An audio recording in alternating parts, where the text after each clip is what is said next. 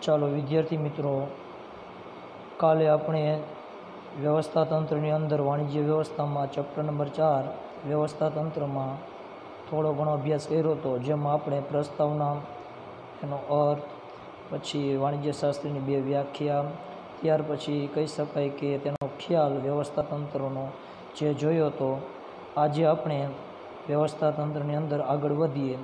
ત્યાર પછી આપણે જોઈએ તો લાક્ષણિકતાઓ.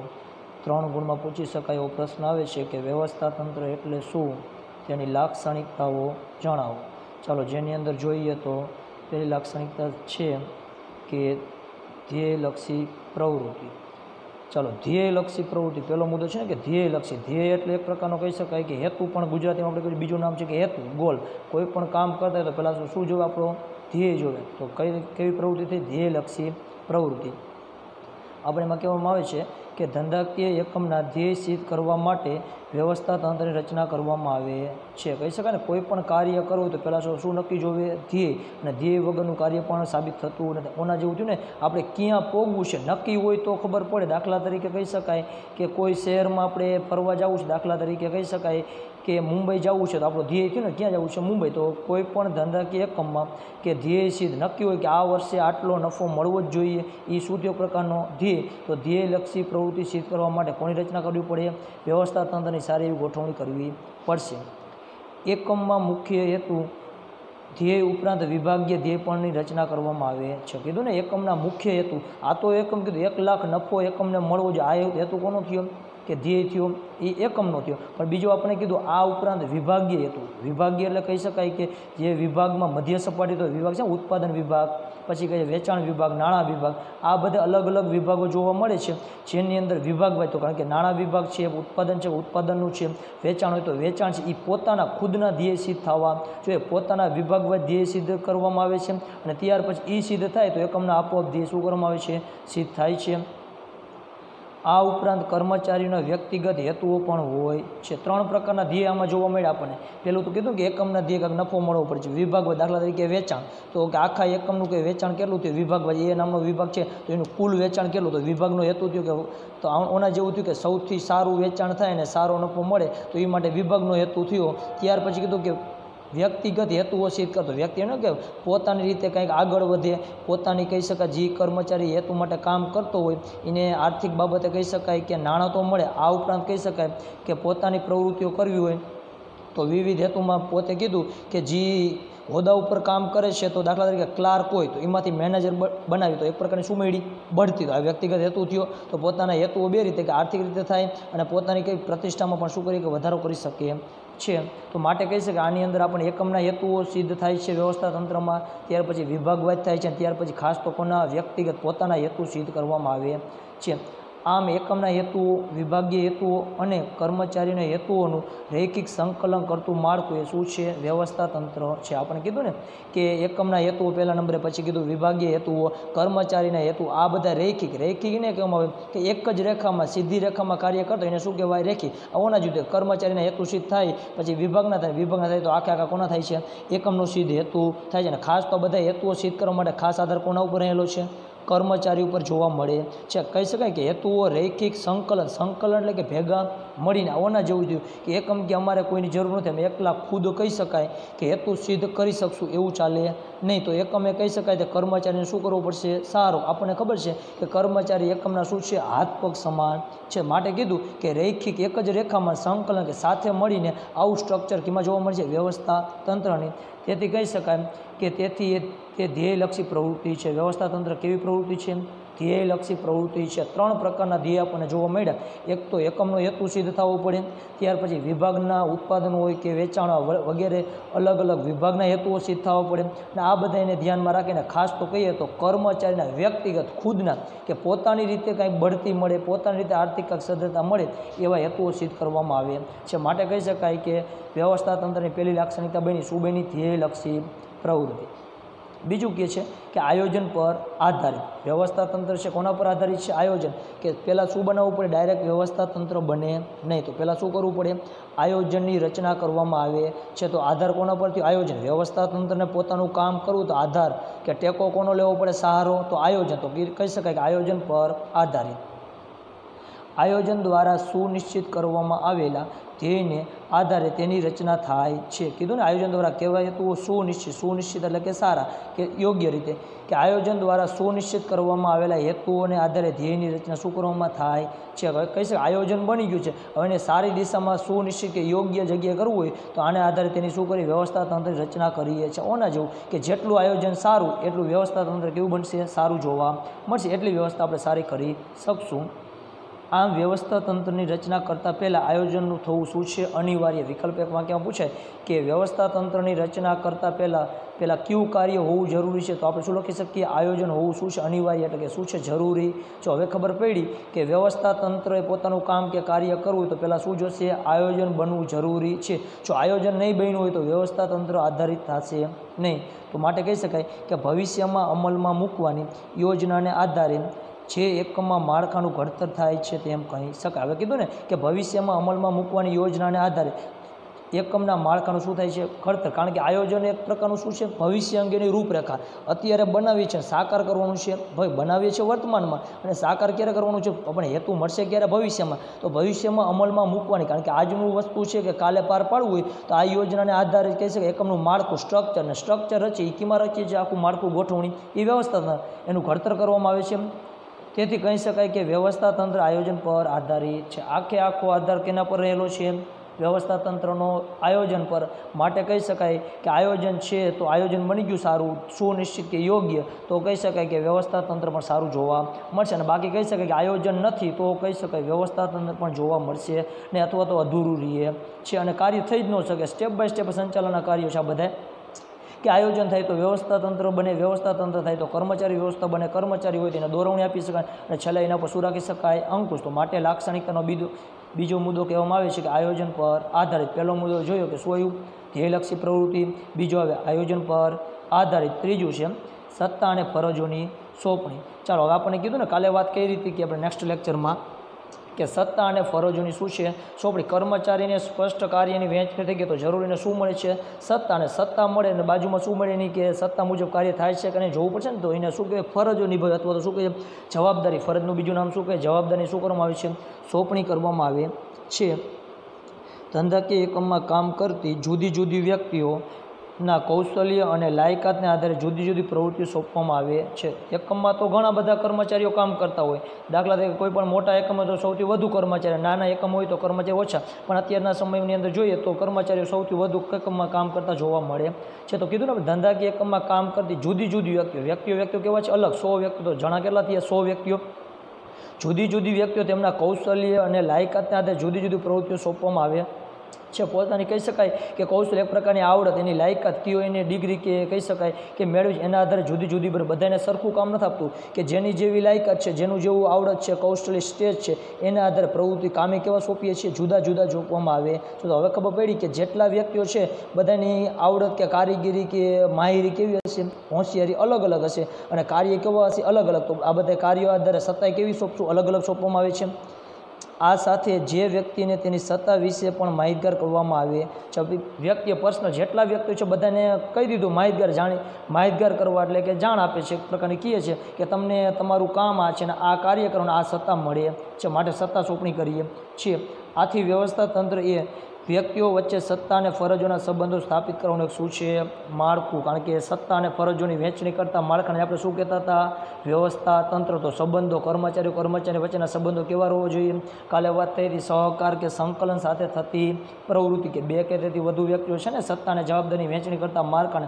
આપણે શું કહેતા હતા? વ્યવસ્થા તંત્ર. તો માટે કીધું ને કે વ્યવસ્થા તંત્ર એ વ્યક્તિઓ વચ્ચે સત્તા અને ફરજોના સંબંધો કેવા કરવા? સ્થાપિત, પ્રસ્થાપિત એટલે કે લાગુ પાડવામાં આવે છે. આવું માળખું રચવું. આ માળખું રચના કેમાં કરીએ છીએ? વ્યવસ્થા તંત્રમાં. તો માટે કહી શકાય કે વ્યક્તિઓ અલગ અલગ જુદા જુદા પ્રકારના સત્તા અને ફરજની સોંપણીની અંદર જોઈ કે વ્યક્તિ અલગ અલગ હોય છે તો એને કહી શકાય પોતાના કૌશલ્ય આવડતને આધારે. એમ નામ ને બધાને સરખી સત્તા મળે એવું નહીં. પણ બધાને પોતાના કૌશલ્ય છે, પોતાની કંઈક આવડત છે, એના આધારે કાંઈક જુદા જુદા કાર્ય સોંપવામાં આવે છે. અને આની માહિતગાર કે કોને કંઈ પછી ખબર પડી જાય એકમમાં કે કોને કેટલું કામ મળે છે, એ પ્રમાણે સત્તા આપવામાં આવે છે પર્સનલ. આગળ કહીએ છીએ.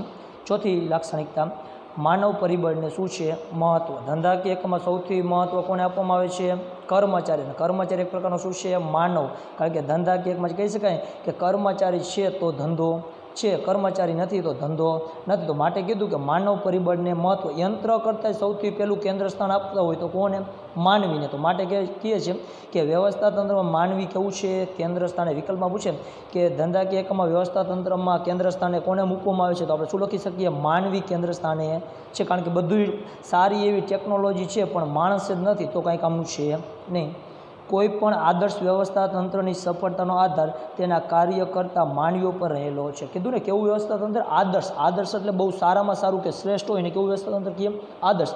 આદર્શ વ્યવસ્થા તંત્ર છે, બની ગયું છે. એને સફળ બનાવવું એનો આધાર કેના ઉપર રહેલો છે? કામ કરતા કર્મચારી અથવા માનવી પર રહેલો છે. બધું સારું આદર વ્યવસ્થા તંત્ર બની ગયું, પણ કામ કરવાવાળા વ્યક્તિ સારા નથી તો કાંઈ કામનું છે નહીં. તેથી અસરકારક વ્યવસ્થા તંત્રની સ્થાપના માટે અસરકારક માનવ સંબંધો સ્થાપિત કરવા શું છે? જરૂરી. સારા કહી શકાય. વ્યવસ્થા તંત્રની રચના કે સ્થાપના કરવી હોય તો માનવ સંબંધો સ્થાપિત કરવા શું છે? એકાબીજા સાથે મળી હળી મળીને કાર્ય કરી શકે આની આવશ્યકતા રહે છે. તો કહી શકાય કે ધંધાકીય એકમમાં માનવ પરિબળને શું આપવામાં આવે છે? સારું એવું મહત્ત્વ આપવામાં આવે છે. ત્યાર પછી લાક્ષણિકતા આવે છે. શું આવે છે? પરિવર્તનશીલતા કહી શકાય ને કે કોઈ પણ વસ્તુ આયોજન બની ગયું છે, આયોજન બન્યું તો કાયમી માટે કામ લાગશે? નહીં. તો સમય અનુસાર કે પરિસ્થિતિ ધંધા કે અનુસાર શું કરવું પડશે? ફેરફાર કરવો જ પડશે. જો આયોજન ફેર્યું તો વ્યવસ્થા, આજે એક ફેરે વ્યવસ્થા કરેલી, તો કાયમી માટે એ વ્યવસ્થા ચાલતી નથી. સમય અનુસાર એમાં શું કરવો પડે? ફેરફાર. તો એને કહેવાય પરિવર્તનશીલતા એકવાર વ્યવસ્થા તંત્રની રચના થયા પછી તેમાં ફેરફાર કરવા કહી શકાય અવકાશ શક્ય છે ઓકે કીધું ને આપણે કે એકવાર વ્યવસ્થા રચના થઈ ગઈ તેમાં ફેરફારને અવકાશ શક્ય છે એટલે તક મળે છે, મોકો મળે હવે કીધું આપણે એકવાર બની ગયું તો એની રાખશું નહીં. કારણ કે સમય સંજોગો અનુસાર શું કરવું? તેમાં ફેરફાર કરવાનું જરૂરિયાત જણાય છે અને કરી શકીએ છીએ. હવે આપણે કીધું કે બદલાતા જતા સંજોગો અને પરિસ્થિતિ અનુસાર વ્યવસ્થા તંત્રમાં સાનુકૂળ ફેરફાર કરી શકાય છે. હવે કીધું ને કે સારા ફેરફાર કરવા હોય તો કે આપણે કીધું કે બદલાતો જતો સમય, એમનામ ફેરફાર નહીં. હવે કે સમય સંજોગો બદલાય છે એ અનુસાર એમાં શું કરીએ છીએ? આપણને અનુકૂળ લાગે એવા સાનુકૂળ એવા શું કરીએ છીએ? ફેરફાર કરીએ છીએ. કે એની અંદર વ્યવસ્થા તંત્રમાં શા માટે ફેરફારો કર્યા? કારણ કે સમય સંજોગો અને પરિસ્થિતિમાં શું થઈ ગયો? ફેરફાર કાલે જે હતું. અને કહી શકાય કે નેક્સ્ટ યરમાં એ જોવા મળતું નથી. એમાં ફેરફાર કરવો જ પડે છે. દાખલા તરીકે આપણે કીધું છે કે નવી ટેકનોલોજીના અમલમાં આવે. તો હવે કીધું ને કે, હવે કે ફેરફાર કેવો કે જૂની ટેકનોલોજીમાં પહેલાં કામ કરતા હતા, હવે નવી આવી ગઈ. તો એકમમાં હવે કઈ ટેકનોલોજી અપનાવશું? નવી. તો આ શું પ્રકારનો કર્યો? ફેરફાર જોવા મળે છે તો આ એક પ્રકારનો પરિવર્તનશીલતા કહેવાય.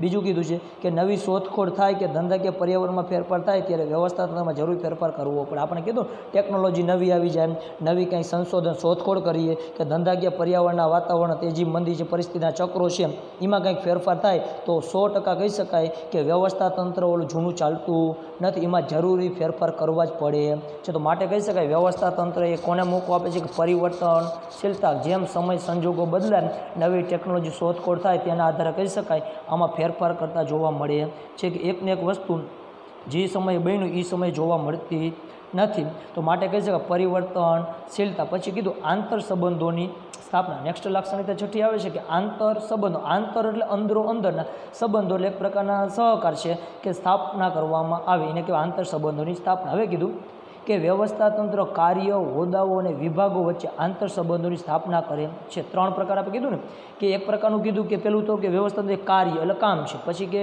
વ્યક્તિગત શું છે હોદ્દાઓ અને કહી શકાય વિભાગો. દાખલા તરીકે આપણે મધ્ય સપાટીમાં જોયું હતું કે સંચાલન કાર્યોમાં એમાં કીધું કે વિભાગ હોય, ઉત્પાદન ખરીદ છે, આ બધા વચ્ચેના આંતર સંબંધ. એવું ન કહી શકીએ કે કોઈ પણ કાર્ય છે હોદ્દેદાર વ્યક્તિ છે, અથવા કહી શકાય કે વિભાગ છે. કોઈ પણ કામ છે તો એવું ન કે આપણને આવડે છે તો બીજાને જરૂર નહીં પણ નહીં પડવાની છે. એના વચ્ચે સંબંધ ગમે ત્યારે કાર્યમાં મુશ્કેલી પડે તે નિવારી શકાય છે. પછી કીધું હોદ્દેદાર વ્યક્તિ હોય, એક હોદ્દેદાર બીજા. કારણ કે આ વસ્તુ એવી છે કે ધંધાકીય એકમમાં એક સ્ટેપ બાય સ્ટેપ રૂટીન પ્રક્રિયા હોના જેવું છે કે કાચા માલમાંથી પછી કહી શકાય અર્ધ તૈયાર માલ અને તૈયાર માલ. તો કાચો માલમાંથી અર્ધ તૈયાર માલ ડાયરેક્ટ પાકો બને નહીં તો સ્ટેપ બાય સ્ટેપ તો એકાબીજાની જરૂર પડશે વ્યવસ્થા તંત્રમાં કોઈ પણ કાર્ય છે હોદ્દાઓ છે કે વિભાગો વચ્ચે કેવા સંબંધો? આંતર સંબંધો સ્થાપવા એકાબીજા, આનો મિનિંગ કેવો થાય? કે કાર્ય હોય કે હોદ્દેદાર વ્યક્તિઓ હોય, પછી કહી શકાય વિભાગો છે, એના વચ્ચે એકાબીજા એ વિભાગને, બી વિભાગને, બી ને સી વચ્ચેના સંબંધો કેવા હોવો જોઈએ? સારા હોવા જોઈએ. આને કેવી સ્થાપના કહી?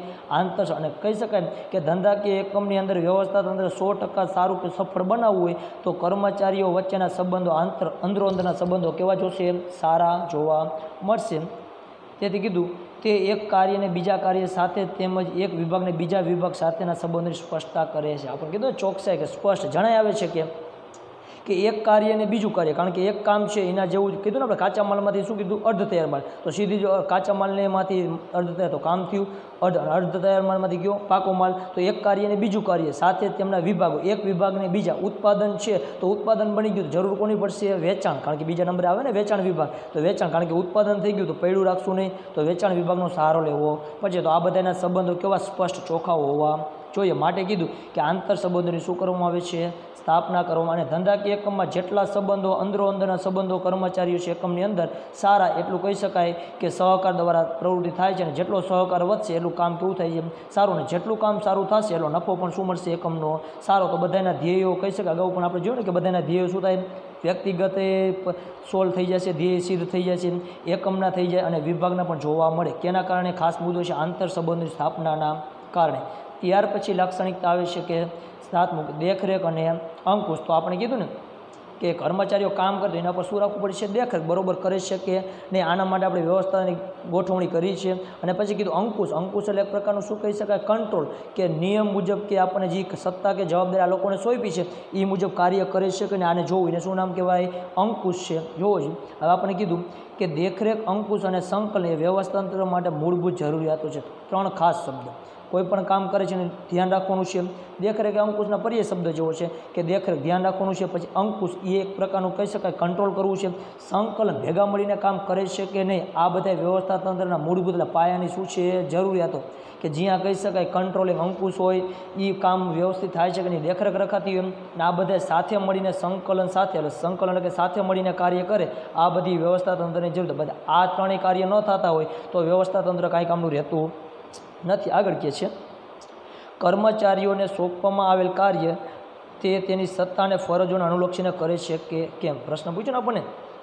કે આપણે હવે શું જોવાનું? અંકુશ ધ્યાન રાખવાનું કે કર્મચારીને આપણે કામ સોંપી દીધું, એને સત્તા આપી દીધી, ફરજ હવે અનુસાર અનુલક્ષીને કે ફરજનું પાલન કરવું પડે કે જો એને રોજે રોજનું જેટલું કાર્ય સોંપવામાં એ મુજબ કરે છે કે નહીં, એનું ધ્યાન રાખવામાં, ધ્યાન રાખવું એટલે શું એક પ્રકારનું રાખ્યું કહેવાય? દેખરેખ કે અંકુશ રાખ્યું કહેવાય. કેમ? પ્રશ્ન પૂછ્યો ને આપણને કે કર્મચારીને જે સત્તા મુજબ કામ સોંપ્યું છે, એ ફરજો અનુસાર અનુલક્ષે કે ધ્યાન રાખીને એને ફોલો કરે છે કે નહીં? આ જોવામાં આવે છે. એનો કહેવાય દેખરેખ અને અંકુશ. તે અંગે દેખરેખ અને અંકુશની જોગવાઈની વ્યવસ્થા જોવા મળે છે. કહી શકાય કે મોટા ધંધાકીય એકમની અંદર કે કર્મચારીઓ વધુ હોય, કામ વધુ હોય, તો ઘણા કર્મચારીઓ કહી શકાય કે કામચોર હોય અથવા કામ કરતા નથી, સમયનો ખોટો એવો ઉપયોગ કરે છે. તો માટે કહી શકાય, ખાસ કાર્યમાં કીધું કે કામ તો કરે, સત્તા સોંપાઈ ગઈ, બધુંય થઈ ગયું છે, પણ આ કામ કરે છે કે નહીં, આ જોવાનું કાર્ય કોણ કરે છે? અંકુશ કરવામાં આવે છે અથવા અંકુશ કરે છે. માટે કહી શકાય, દેખરેખ અને અંકુશ રાખવો વ્યવસ્થા તંત્રમાં લક્ષણોમાં શું છે? જરૂરી છે. ચાલો, ત્યાર પછી આવે છે, શું આવે છે આઠમું? સામૂહિક પ્રવૃત્તિ. કેવી પ્રવૃત્તિ? સમૂહ. સમૂહ એટલે કે જૂથ દ્વારા થતી પ્રવૃત્તિ. કહી શકાય, એકાબીજા કર્મચારીઓ છે, એકમમાં કામ કરતા હોય કે સાથે મળીને, ઘણા બધા એકમના ડિપાર્ટમેન્ટમાં કહી શકાય કે સાથે મળીને કામ કરે. એને કેવી પ્રવૃત્તિ કહેવાય? સામૂહિક પ્રવૃત્તિ. જેની અંદર કહે છે કે વ્યવસ્થા તંત્રમાં અનેક વ્યક્તિઓ ધ્યેય સિદ્ધિ માટે શું કરે છે પ્રયત્ન કરે છે. વ્યવસ્થા તંત્ર સ્ટ્રક્ચર માળખું બની ગયું છે. એમાં અનેક, એક નહીં, આપણે વ્યાખ્યામાં કીધું ને, કેટલા વ્યક્તિઓ, બે કે તેથી વધુ વ્યક્તિઓ, તો અનેક એટલે કે વધારે વ્યક્તિઓ, અનેક વ્યક્તિઓ ધ્યેય સિદ્ધિ માટે શું કરે છે? પ્રયત્નશીલ રહે છે. એટલે કહી શકાય કે બધાએ પોતાની, કહી શકાય, ધારેલા ધ્યેય મુજબ પહોંચવા માટે પુષ્કળ પ્રમાણમાં કહી શકાય શું કરે છે? પ્રયત્નશીલ કામ કરતા અથાગ પ્રયત્ન કરે છે અને પોતાના ધારેલા ધ્યેય સુધી શું કરે છે? પહોંચે છે. તો કરે અનેક વ્યક્તિઓ પોતાને એકને એમ થાય કે આપણે આ વર્ષે આટલો નફો મળે, તો પછી એવી લાલચ થાય કે પછી આથી થોડોક વધારે મળે. તો એક પ્રકારના પણ એ બધું કાર્ય કરે, પ્રયત્ન કામમાં મશગુલ રહે તો શક્ય છે, બાકી શક્ય છે માટે કીધું કે વ્યવસ્થા તંત્રમાં અનેક વ્યક્તિઓ ધ્યેય સિદ્ધિ માટે શું રહે છે? પ્રયત્નશીલ કે આગળ કાર્ય કરવા માટે તત્પર રહે છે, તો જ પોતાના ધ્યેય સુધી પહોંચી શકે છે. વ્યક્તિઓના કહી શકાય આ પ્રયત્નો વ્યવસ્થા તંત્રમાં યોગ્ય માળખું પૂરું પાડે છે. કહી શકાય ને, માળખું એટલે સ્ટ્રક્ચરની રચના કરી કે વ્યક્તિઓને પોતાના પ્રયત્નોમાં વ્યવસ્થિત રહી શકે, યોગ્ય રીતે સારી રીતે રહી શકે તો શું હોવું જોઈએ? વ્યવસ્થા તંત્રની રચના કરવી પણ આ માળખું પૂરું પાડે છે. માળખું એક પ્રકારનું સ્ટ્રક્ચર બન્યું કે કોને કયું કાર્ય કરવું, સત્તા એ પ્રકારે શું કહેવામાં આવે છે? માળખું યોગ્ય પૂરું પાડવામાં આવે છે. માટે કહી શકાય કે જેના દ્વારા સામૂહિક સહકારથી ધ્યેય સિદ્ધિની દિશામાં જઈ શકાય છે. હવે કીધું ને કે બધાના સત્તા જવાબદારી મુજબ કાર્ય કેવા છે? અલગ, ભલે પણ સમૂહમાં કરવાના છે અને એકાબીજાના છે સહકારથી કરવાના છે અને જેટલા સહકારથી સમૂહમાં કાર્ય કર્યા ઓના જેવું છે. જાજા હાથ કેવા બને રેડે હમણે એક કામ છે એ પાંચ વ્યક્તિ કરે ને એ એક જ વ્યક્તિ કરે તો ઝડપથી કામ ક્યુ થઈ જાય છે સમૂહમાં કે પાંચ વ્યક્તિ દ્વારા થયું એ વેલાહાર થઈ જાય છે તો માટે કહી શકાય કે સામૂહિક કે સહકારથી ધ્યેય સિદ્ધિની દિશામાં કે આપણે ધારેલા ધ્યેય પોગવું એ વર્ષના અંતે સહકાર કે સમૂહમાં કાર્ય કરવાથી એ દિશા તરફ આપણે આગળ વધી શકાય છે. માટે કહી શકાય કે કેવી પ્રવૃત્તિ છે?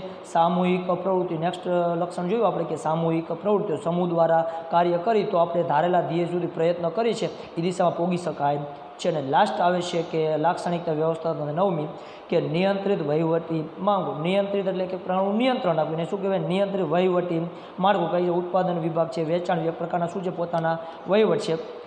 વ્યવસ્થા તંત્ર એક ચોક્કસ પ્રકારનું કેવું માળખું છે, નિયંત્રિત એટલે કંટ્રોલ કરે વહીવટી માળખું છે જે ધંધાકીય એકમમાં સંબંધો પ્રસ્થાપિત કરવા માટે નિયમો અને નિયંત્રણોની આકર્ષકતા રહે છે. હવે કહી શકાય ને, પહેલાં કહી શકાય એક પ્રકારનો નિયમ, સિદ્ધાંત છે આપણે.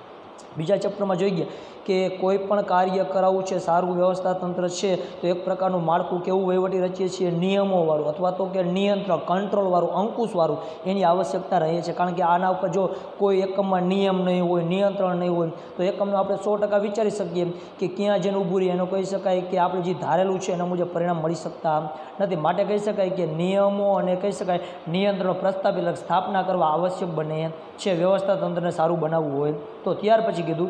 જેની રચના વ્યવસ્થાતંત્ર દ્વારા કરવામાં આવે છે. આ નિયમો છે એના ખુદના એકમ માટેના. પછી કઈ રીતે નિયંત્રણો કંટ્રોલ કરવા, અંકુશ રાખવું, આ બધી પોતાની રચના કહી શકાય. વ્યવસ્થા તંત્ર દ્વારા કરવામાં આવે. વ્યવસ્થા નક્કી જ હોય છે કે તમારે આ નિયમમાં કામ કરવું પડશે ફોલો કરવું પડશે. ઓના જેવું છે. એકમમાં કામ કરતો કર્મ છે. પેલો નિયમ છે કે સવારે આઠ વાગે આવવું ને સાંજના સાત વાગ્યા સુધી કાર્ય એક પ્રકારનો શું થયો? નિયમ. અને નિયંત્રણ એટલે એક પ્રકારનું કે એની અંડરમાં રહી અને શું કરવાનું છે? કાર્ય અને જોઈને કે આ બધું કરે છે કે નહીં? તો માટે કહી શકાય એક પ્રકારનું કેવું માળખું છે કે નિયંત્રિત અને વહીવટી માળખું. આ બધી એની શું થઈ લાક્ષણિકતાઓ. ચાલો, પહેલેથી મુદ્દા જોઈ લે કે પેલું તો આવ્યું કે લાક્ષણ શું હતી કે ધ્યેયલક્ષી પ્રવૃત્તિ કહેવામાં આવે છે, કોને? વ્યવસ્થાત્મક લક્ષણ પહેલી ધ્યેયલક્ષી પ્રવૃત્તિ. બીજું આપણે જોયું શું છે? આયોજન પર આધારિત. ત્રીજું જોયું સત્તા અને ફરજોની સોંપણી. પછી ચોથું આવ્યું કે માનવ પરિબળોને મહત્ત્વ પાંચમું, પરિવર્તનશીલતા. છઠ્ઠી, લાક્ષણિકતા જોવા મળી આંતર સંબંધોની સ્થાપના. સાતમું, દેખરેખ અને અંકુશ. આઠમું આવે છે સામૂહિક પ્રવૃત્તિ અને નિયંત્રિત અને વહીવટી માળખું નવમું.